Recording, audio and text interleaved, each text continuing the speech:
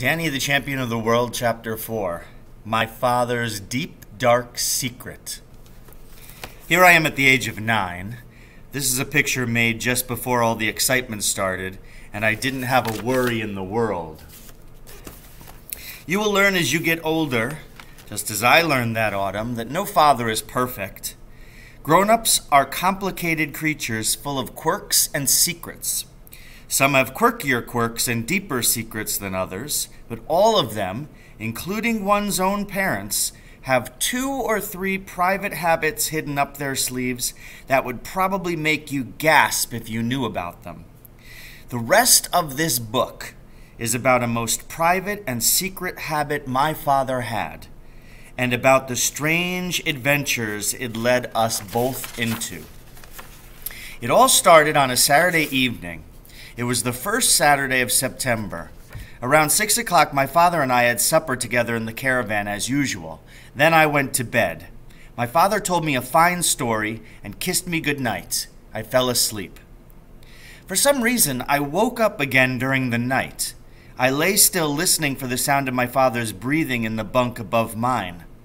I could hear nothing. He wasn't there. I was certain of that. This meant he had gone back to the workshop to finish a job. He often did that after he had tucked me in. I listened for the usual workshop sounds, the little clinking noises of metal against metal or the tap of a hammer.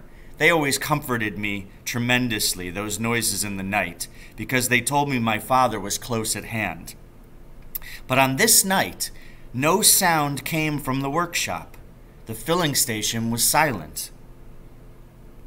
I got out of my bunk and found a box of matches by the sink. I struck one and held it up to the funny old clock that hung on the wall above the kettle. It said ten past eleven.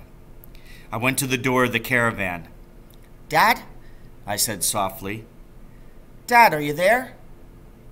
No answer. There was a small wooden platform outside the caravan door, about four feet above the ground. I stood on the platform and gazed around me. Dad? I called out. Where are you? Still no answer. In pajamas and bare feet, I went down the caravan steps and crossed over to the workshop. I switched on the light. The old car we had been working on through the day was still there, but not my father. I have already told you he did not have a car of his own, so there was no question of him having gone for a drive. He wouldn't have done that anyway. I was sure he would never willingly have left me alone in the filling station at night. In which case, I thought, he must have fainted, fainted suddenly from some awful illness or, or fallen down and banged his head. I would need a light if I was going to find him. I took the flashlight from the bench in the workshop. I looked in the office. I went around and searched behind the office and behind the workshop. I ran down the field to the lavatory. It was empty. Dad? I shouted into the darkness. Dad? Where are you? I ran back to the caravan. I shone the light into his bunk to make absolutely sure he wasn't there. He wasn't in his bunk. I stood in the dark caravan, and for the first time in my life, I felt a touch of panic. The filling station was a long way from the nearest farmhouse. I took the blanket from my bunk and put it around my shoulders. Then I went out to the caravan door and sat on the platform with my feet on the top step of the ladder.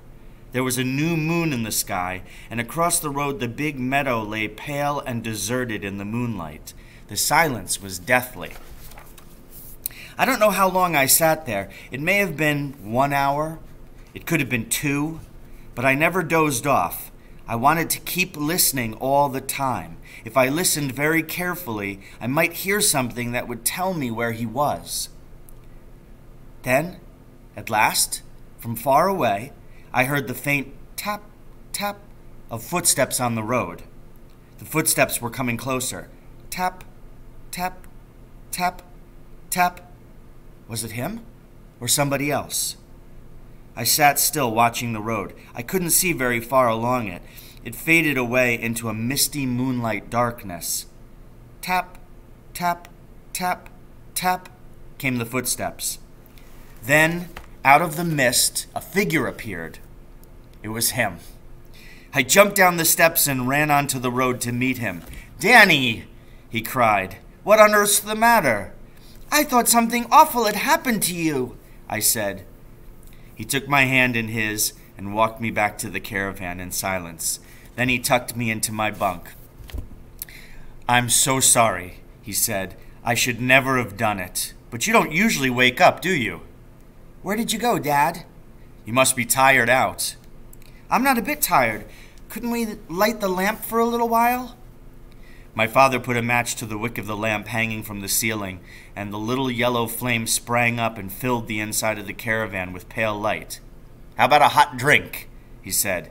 Yes, please. He lit the kerosene burner and put the kettle on to boil. I've decided something, he said. I'm going to let you in on the deepest, darkest secret of my whole life. I was sitting up in my bunk watching my father. You asked me where I had been, he said. The truth is, I was up in Hazel's Wood. Hazel's Wood? I cried. That's miles away. Six miles and a half, my father said. I know, I shouldn't have gone, and I'm very, very sorry about it, but I had such a powerful yearning. His voice trailed away into nothingness. But why would you want to go all the way up to Hazel's Wood? I asked.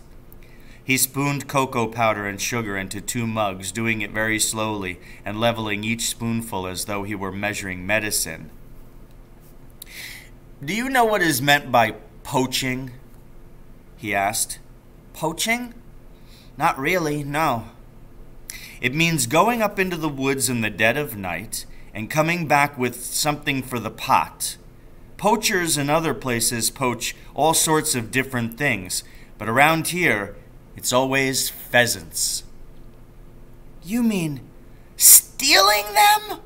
I said, aghast. Oh, we don't look at it that way, my father said. Poaching is an art. A great poacher is a great artist. Is that what you were doing in Hazel's Wood, Dad? Poaching pheasants? I was practicing the art, he said. The art of poaching. I was shocked. My own father, a thief. This gentle, lovely man. I couldn't believe he would go creeping into the woods at night to pinch valuable birds belonging to somebody else. The kettle's boiling, I said. Ah, so it is. He poured the water into the mugs and brought mine over to me. Then he fetched his own and sat with it at the end of my bunk. Your granddad, he said, my own dad, was a magnificent and splendiferous poacher. It was he who taught me all about it. I caught the poaching fever from him when I was 10 years old, and I've never lost it since. Mind you, in those days, just about every man in our village was out in the woods at night poaching pheasants. And they did it not only because they loved the sport, but because they needed food for their families. When I was a boy, times were bad for a lot of people in England. There was very little work to be had anywhere, and some families were literally starving. Yet a few miles away, in the rich man's wood, thousands of pheasants were being fed like kings twice a day. So, can you blame my dad for going out occasionally and coming home with a, a bird or two for the family to eat? No, I said. Of course not. But we're not starving here, Dad. You've missed the point, Danny boy. You've missed the whole point.